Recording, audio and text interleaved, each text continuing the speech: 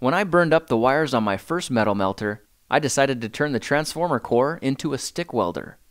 But one transformer wasn't enough to actually make it weld anything.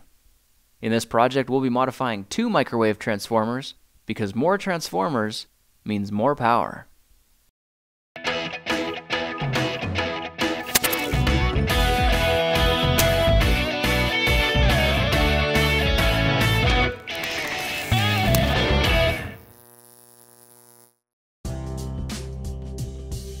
For this project, I scavenged parts from a couple more microwaves.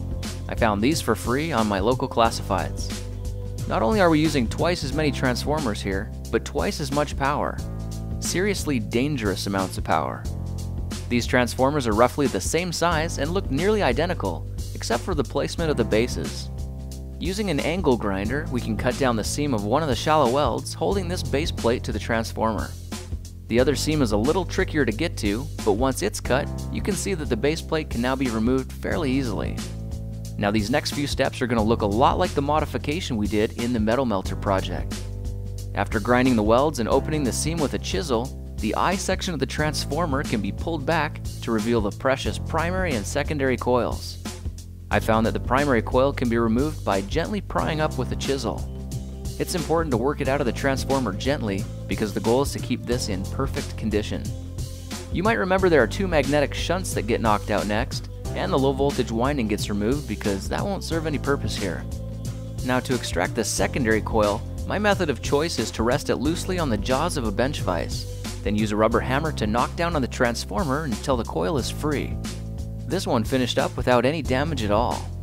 If you don't have a bench vise, you can improvise with a couple of blocks of wood. In either case, your secondary coils can be salvaged in near perfect condition. After a quick cleanup of the paper and resin, our primary coil can be replaced on the transformer with the terminals facing down. We're going to be rewinding a new secondary, so it's important that we have the flat side facing up. When it comes to winding coils, life will be a lot simpler if we build a little jig. I cut this piece of scrap wood so that it's as wide as the centerpiece and just a little shorter than the top. The length is cut so that it overhangs the edges by about half an inch on either side. We can complete the form by adding a top and bottom panel, then forming a piece of paper to fit the sides. At this point, I think we're about ready to add some cable. I found this 50 foot length of wire on clearance at the hardware store. This is 8 gauge, stranded copper wire, and cost me about $17. I'm going to use my vise to hold the form in place and begin winding the cable around the center of the form as tightly as possible. We need to build this coil 6 turns high, which isn't too difficult the first layer, but gets progressively more challenging on the second layer and might seem like it's near impossible on the third.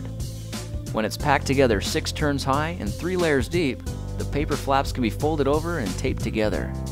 Now this is the tricky part.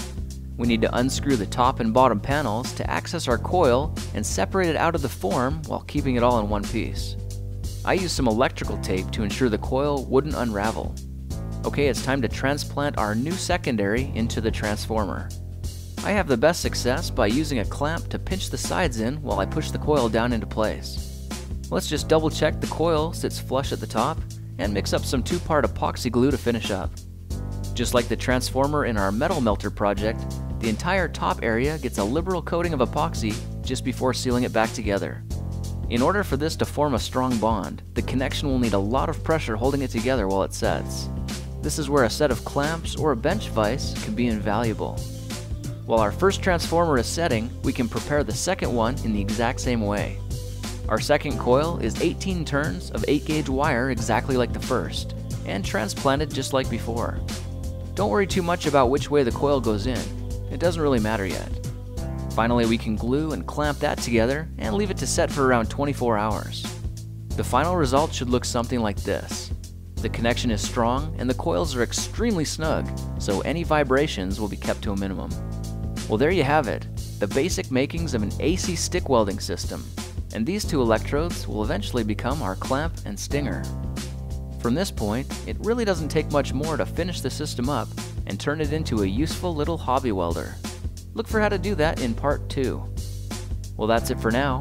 If you like this project, perhaps you'll like some of my others.